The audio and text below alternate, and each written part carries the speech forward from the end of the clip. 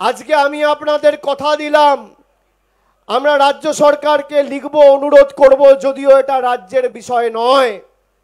তাও আমাদের গরিব দরদি, মানব দরদি, মুখ্যমন্ত্রীকে আমরা লিখে বলব যে আমরা দু বছর ধরে কেন্দ্রের দিকে তাকিয়ে রয়েছি, অপেক্ষা করেছি। কেন্দ্র টাকা ছাড়েনি অন্তত পক্ষেই আড়াই হাজার লোকের দু বছরের পারিশ্রমিকের ব্যবস্থা যদি রাজ্য সরকার ছাড়ে বা ব্যবস্থা করে, তাহলে আমরা কৃতজ্ঞ থাকব। যদি রাজ্য সরকার করতে না পারে, আমরা দলের তরফ থেকে এক মাসের বেতন দিয়ে আপনাদের টাকা আপনাদের ব্যাংক অ্যাকাউন্টে দু মাসের মধ্যে, তিরিশে নভেম্বর, অর্থাৎ ষাট দিনও নেই, আজকে তিন তারিখ, দু মাসের মধ্যে আপনাদের টাকা সরাসরি আপনাদের ব্যাংক অ্যাকাউন্টে পৌঁছে দেবো।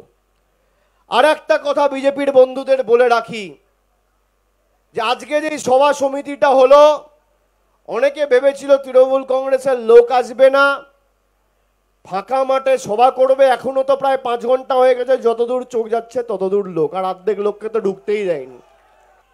প্রয়োজন পড়লে আজকের কর্মসূচির নেতৃত্বে থাকার কথা ছিল আমাদের সর্বজন শ্রদ্ধেয় নেত্রী মমতা বন্দ্যোপাধ্যায়ের। মমতা বন্দ্যোপাধ্যায়ের পায়ে আঘাত লাগার কারণে ডাক্তারের পরামর্শে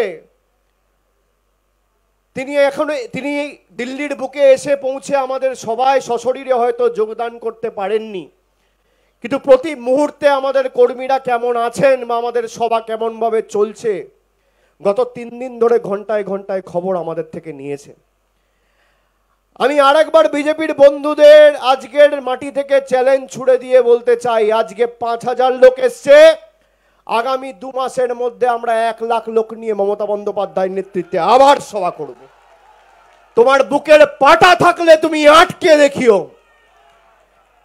তোমার মাটিতে দাঁড়িয়ে, তোমার এলাকায় দাঁড়িয়ে যে দিল্লিতে তুমি অর্ডিনেন্স করে গায়ের জোরে ক্ষমতা কুক্ষিগত করে রেখেছো সেই দিল্লির বুকে দাঁড়িয়ে, সেই যন্তর মন্তরে দাঁড়িয়ে আগামী দু মাসের মধ্যে এক লক্ষ লোক নিয়ে মমতা বন্দ্যোপাধ্যায়ের নেতৃত্বে দিল্লির রাজপথে আবার মিছিল হবে।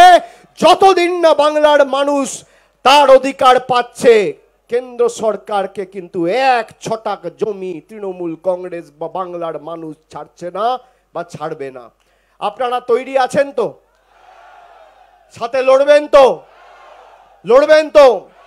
এই কুড়ি লাখ লোকের যে টাকা আটকে রেখেছে, আমি আপনাকে বলছি, দু মাসের মধ্যে আড়াই হাজার লোকের পারিশ্রমিক পেয়ে যাবে, তার ব্যবস্থা আমরা দু মাসের মধ্যে করব, আজকে সভাস্থল থেকে আমরা ঘোষণা করেছি। থাকল আর কুড়ি লাখ।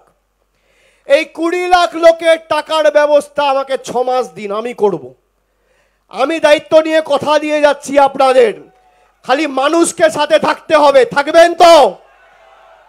দশ হাজার অভিষেক বন্দ্যোপাধ্যায় রাস্তায় নামলে কোনো লাভ হবে না যদি মানুষ সংগঠিত না হয়। আপনাকে সিদ্ধান্ত নিতে হবে যে আমি আমার অধিকারের স্বার্থে লড়ব। দু হাজার উনিশ সালে বাংলার কিছু মানুষ বিজেপির বিভ্রান্তিকর প্রচারে পা দিয়ে, প্ররোচনায় পা দিয়ে ধর্মের ভেদাভেদের শিকার হয়ে ভারতীয় জনতা পার্টিকে ভোট দিয়েছিল। আমি বারবার বলি আপনি তৃণমূলকে ভোট দিন, বিজেপিকে ভোট দিন, কংগ্রেসকে ভোট দিন, সিপিএমকে ভোট দিন, ভোট নিজের অধিকারের স্বার্থকে সামনে রেখে দিন।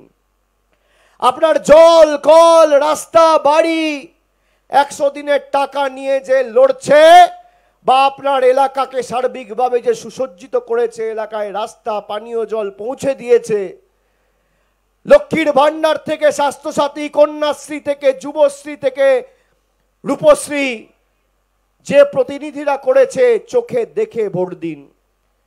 দু হাজার উনিশ সালে মানুষ রাম মন্দিরকে সামনে রেখে ভোট দিল। আমি কেন এই কথাটা বলছি? গণতন্ত্রে মানুষ যে বিষয়বস্তুগুলোকে সামনে রেখে ভোট দেয়, সেটাই বাস্তবায়িত হয়। আমাদের ভিডিও ভালো লাগলে লাইক এবং শেয়ার করুন। কমেন্ট সেকশনে গিয়ে জানান আপনাদের মতামত। আরও ভিডিও পেতে আমাদের চ্যানেল সাবস্ক্রাইব করুন এবং প্রতি মুহূর্তে খবরের আপডেট পেতে প্রেস করুন বেল আইকন।